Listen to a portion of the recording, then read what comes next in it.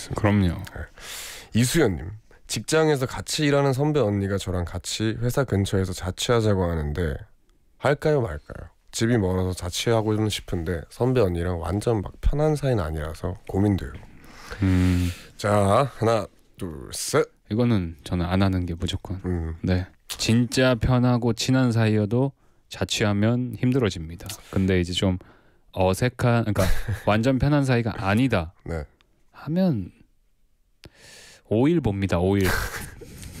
오일 길어 길어. 네, 5일 봐요. 이사하면서 싸워요. 네, 집 고르다 싸웁니다. 그러니까 이거는 저는 비추 네. 드립니다.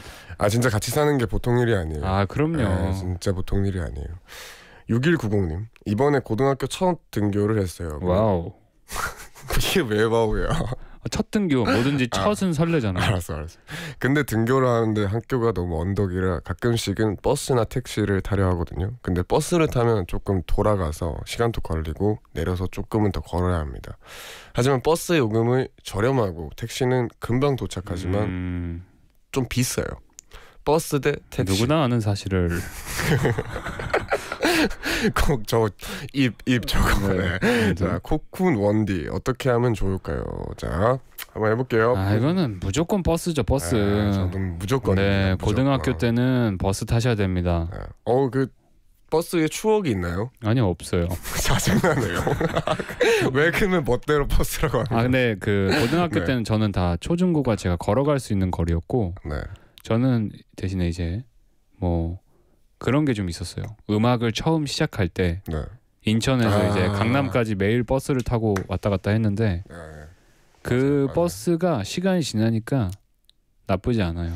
그 오래 걸리는 시간에서 진짜 듣는 거나 배- 보는 거나 배우는 게 많아요. 그럼요. 그래가지고 버스 저도 무조건 혹시나 추천드립니다. 인연을 만나게 될지도 모르기 때문에 그런 것들도 항상 네. 머릿속에 염두에 두시고 코쿤 씨는 어떻게 만난 적 있나요?